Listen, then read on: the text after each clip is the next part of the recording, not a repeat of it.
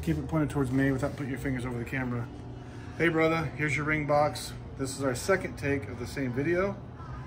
So let me show you. Let's redo this 10 minutes. We're gonna do it faster this time. Here's your base. Looking spectacular. You see it, Glenn? Mm -hmm. Look good? Yep. Look good with the reflections. There's no feet on it yet, so I've just got it sitting on foam. When you assemble this, well, before you assemble, let me just go over this.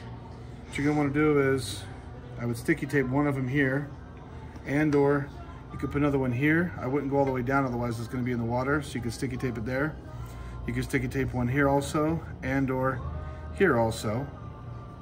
You could also do this, set this one here. The box still closes just fine like that. Or if you can find some little round ones, you can set them here in the corners, however you want to do it. And obviously this is designed for your dry ice. Or if you wanted to, you could stick these up on the walls like this. And you can put dry ice here and here.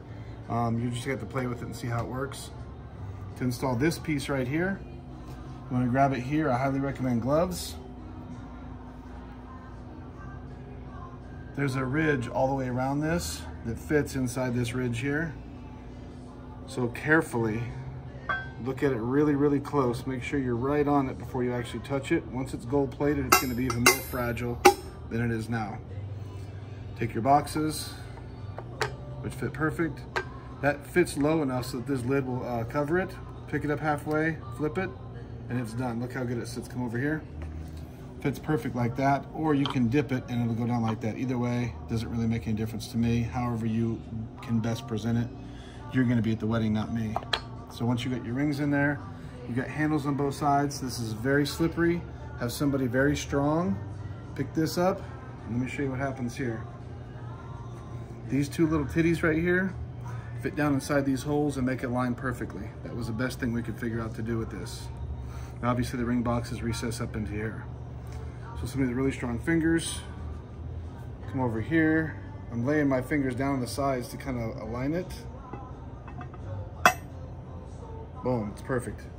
No movement at all. Once it's gold plated, it's gonna be even a hair tighter, so be very, very careful with it. Uh, we're gonna get this shipped off to gold plating right now. Me and my boy Charlie and Glenn have been polishing all day. Yes, it's Sunday, but things gotta get done, they gotta get done. I appreciate you, thank you. Let's make about 27,000 more of these, at least one for each jeweler in your consortium or group or whatever. Kill it.